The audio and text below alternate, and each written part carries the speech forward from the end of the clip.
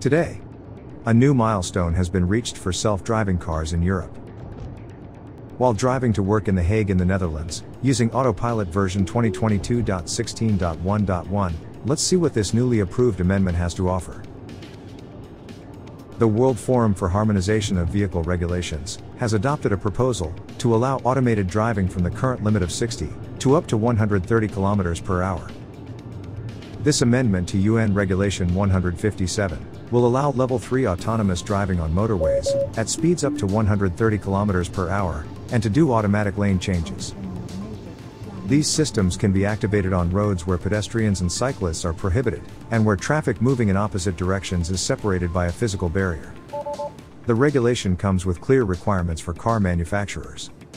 These include approval requirements, technical requirements, and audit and reporting requirements. Systems will need to be tested on test tracks and in real world conditions.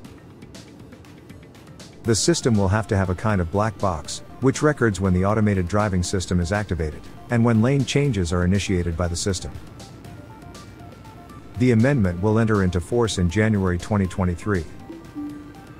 It is a hefty, 100 pages document, in which all the details about how the software should work are meticulously described.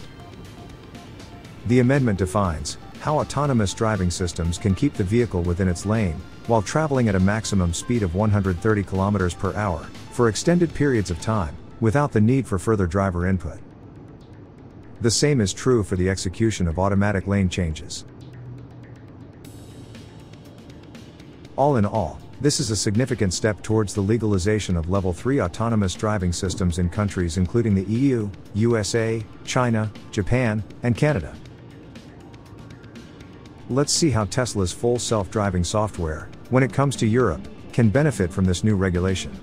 One thing is for sure I can't wait. So, highways, freeways, Autobahn, Snelweg, and Autoroute, here we come.